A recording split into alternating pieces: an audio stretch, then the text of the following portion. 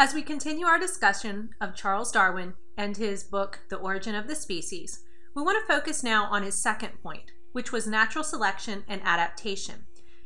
So, the first point, descent with modification, we've discussed that, and the idea that the species that we see around us, they were basically descended from a common ancestor. And there have been changes over time that have now made many of them look very unlike each other. Natural selection and adaptation basically is the mechanism for that descent with modification. So, as we go on and talk about this, there were numerous observations that Charles Darwin made. And the first one was that overproduction would occur if all individuals reproduce successfully. So, the idea here is that there are way too many offspring from individuals. I'm sure you've all seen the spider with the egg sac, and when that thing ruptures, there's just millions or hundreds of little spiders. And we've seen the seeds on a tree. You've seen the massive amounts of pollen that come from pine trees. So, organisms in general produce way too many offspring. And if every one of those offspring were to survive, we would very quickly be overrun. This occurs with humans as well, or it's been proposed to occur with humans. And Thomas Malthus, he did propose and write a book about famine and disease, those types of things, um, really taking a toll on the human population. And the main point that he was making was that when the population becomes too large, we have one of these catastrophes that takes place. Okay, so that was Darwin's first observation was that if every one of the offspring were to survive, we would have way too many individuals. Now, his second point was that environmental resources are limited. So, this goes right along with the very first point that we would just have too many individuals if everyone survived. So, if we have limited environmental resources, um, there has to be some way to basically balance out this overproduction and the limited environmental resources. His third observation was that the members of a population vary a lot in their inherited traits. Here's just a couple examples of some of that variation. The first picture is a picture of cone flowers. So this is a wildflower and although at first glance and from a distance, perhaps they all look very similar to each other, there are a lot of little unique differences if you look at them up close. And we can begin to get an idea of that if we just look at this picture here. Insects, if you've ever seen massive quantities of insects crawling on a plant, they look the same until you look up close. Ladybugs are the same way. Their spots are all in different locations. So there's a lot of variety around us in these different populations if we just take the time to really look closely. We're all very aware of the fact that within the human population, there's a lot of variety. And one of the keys here to this variety is that not only is it variety, but this is inherited variety. So if it's inherited, this is variety that could then be passed on to offspring as well.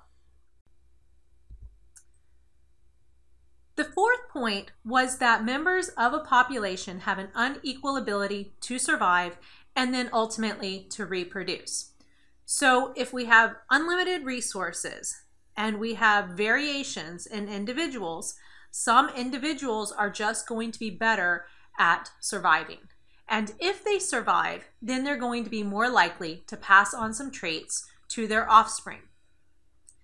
So, for example, if you have a really fast animal, well, that animal is going to be more likely to escape predators than, say, a very slow one. So, the fast ones are going to be more li- likely to survive and produce their own offspring. The slow ones, a lot of those are going to be eaten or consumed before they ever have the opportunity to produce offspring. So, what is this natural selection that Charles Darwin was talking about? Well, remember that we said that organisms produce way too many offspring. And so all of those offspring are not going to survive. Basically, there is differential success in reproduction. So we see these massive amounts of spores coming out of this fungi in this picture here. And each of those spores is different, it's unique. Some will have a better chance of survival than others will have. We have to keep in mind that natural selection occurs through an interaction between the environment and the variability that's present within the individuals making up a population. So it is definitely an interaction with the environment. Keep in mind that that environment changes from time to time, which means that the important variability is going to change from different from one moment to the next as well. And then also the product of natural selection is the adaptation of a population of organisms to their environment. If we look at these pictures here, we can see the walking stick down at the bottom. It matches very closely to the branch that it's on. This is a product of natural selection. So if you keep in mind the green ones, if they were on the same brown branches, they would be very susceptible to predators. So over time, it's going to be the ones that more closely match the environment that do end up surviving. So all of this brings us to this important concept of Darwinian fitness. So when we talk about Darwinian fitness, this is the contribution that an individual makes to the gene pool of the next generation relative to the contribution of other individuals. So basically, how did they do compared to everybody else? How are their genes going to be present in the population relative to the other one's genes? Some individuals will produce more offspring, so they will have a greater contribution to the genes that are present in the next generation. Now, one of the things that Darwin looked at a lot when he was coming up with this theory of evolution and natural selection and adaptation was artificial selection. This was an example that he talked about in the origin of the species. So, this is selective breeding. And this has occurred for hundreds of years. There's even cave paintings that show that way back in BC times, people were actually selecting cattle that had traits that were important to them. So we can see that in wall paintings. If we look at the effects of, nat- of artificial selection, think about all of the different dog breeds that we have present. All of those dog breeds had a common ancestor at one point. But when we look at dogs today, there is such variety there. So we have short dogs, we have tall dogs, long hair, short hair, long ears, short ears, you name it. But basically, what happened is that if an individual is um, desiring a dog with long hair, then it would look they would look at a litter of puppies and they would choose the ones that have the longer hair when they go to breed the dogs for the next generation, they're going to choose those ones that have the longer hair. So what they're doing is they're selecting that the longer hair genes are going to get passed on to the offspring. And then the next round, they would again select the dogs that have the longest hair. Those would be the ones that they would breed. So they would continuously do that. Man has been doing this, and we can see already just in um, several generations that we have quite an influence on the variety of the dogs that we see around us. And this not only happens with animals, but this happens in plant varieties as well.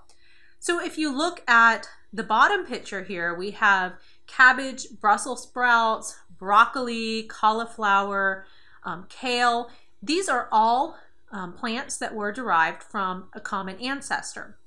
Again, lots of variety there, they vary not only in the way that they look, their size, they vary in their ripening times, they vary in their taste, the different nutrients or vitamins that are prevalent in them.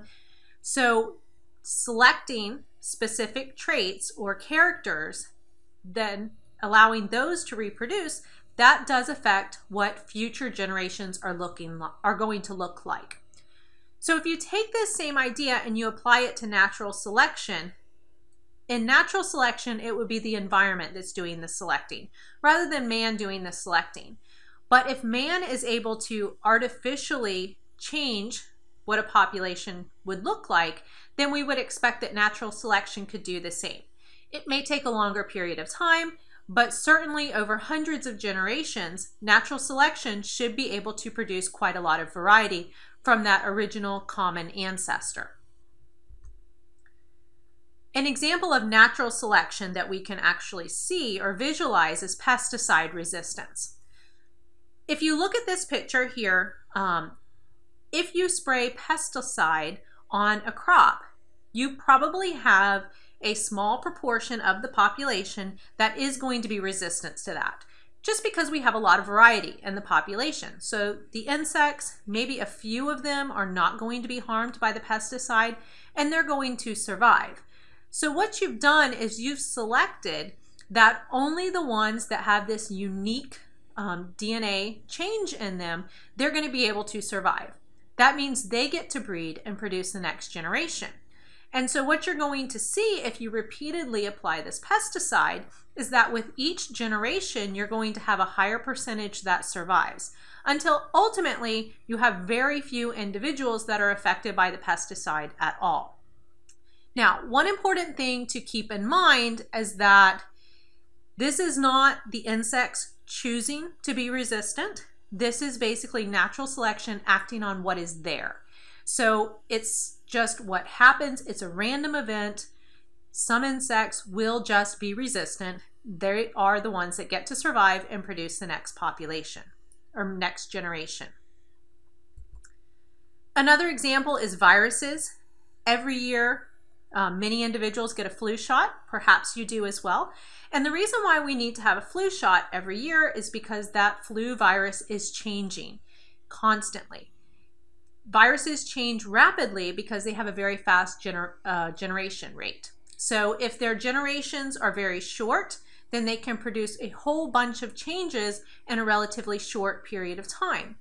And so what used to be an effective vaccine might not be effective the next year when the virus is just slightly different from what it was in the past.